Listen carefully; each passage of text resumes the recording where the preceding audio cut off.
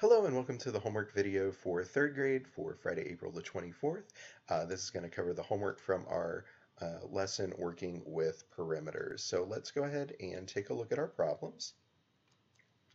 Uh, one of the things that I meant to do uh, before I ended, um, but I didn't do because uh, it was just going to go ahead and give the answer, was to uh, talk about the measurements. So if you do not have the um, ruler to be able to do this, what we were looking at was 5 for the longest length, and then 4 for the next longest length, then 2, and then we have two sections that are worth 1 centimeter. If we add all of those together, we would get 13.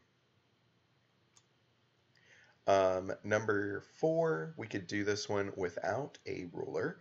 So if we make a shape that has six sides, we might get something that looks a little bit like this, and then we have three on each edge, and that would give us a perimeter of 18.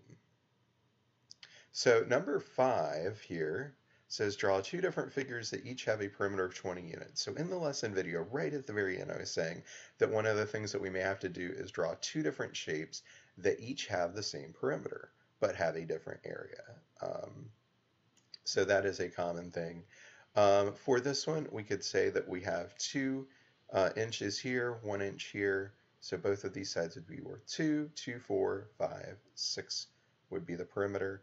And then this one, we could say that all four of these are two inches. Now I'm zoomed in considerably farther. Um, so if you're like trying to hold a ruler up to your screen right now, that may not work.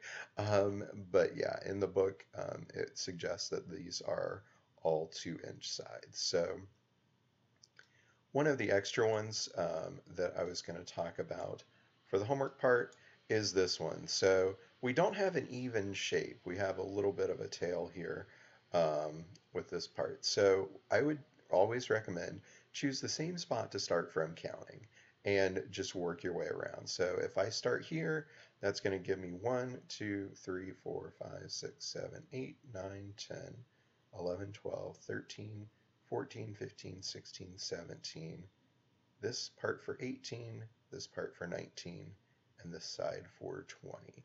Um, I don't believe I asked you guys to work that one, but that kind of thing can be very helpful uh, for practicing. So what I would suggest if you want extra practice on this is just make a normal shape. So you could make a rectangle, you could make a square. You could even try to make something that looks like this and then try to measure. So if you use a ruler as you're doing this, it'll help you make uh, straight lines, but it will also help you uh, find your starting measurements.